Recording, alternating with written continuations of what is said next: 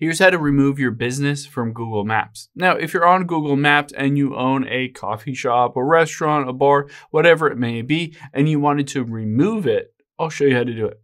Let's open up Google Maps here. And first, you're just going to navigate to wherever that business is. So let's say it's in Jacksonville, Florida. I'm just going to zoom in and choose a random business in here. Just keep zooming in and let's say this Chinese food restaurant. So I am going to zoom all the way in and then tap on contribute at the bottom right.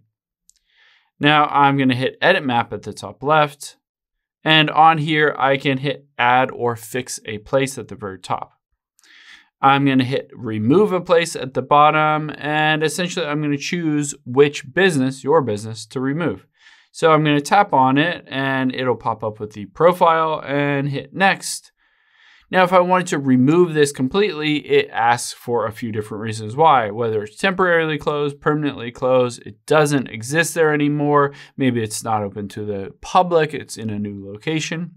Let's say it's permanently closed. I can tap on that. And what they're going to ask you to do is to basically prove that it's permanently closed by adding some photos of that storefront to make sure that they can review it and see that it is actually closed. So this is one step or one process to go through and remove your business profile. Another one is to just go back.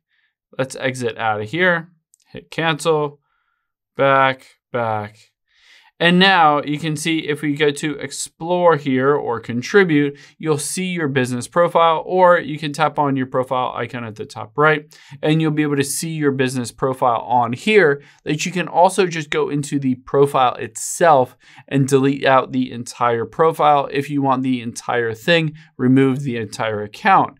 But you can also just go through this first step if you just want to remove it from Google Maps. Hope this helps. You have any questions on that, leave them in the comments down below, and I'll catch you on the next one.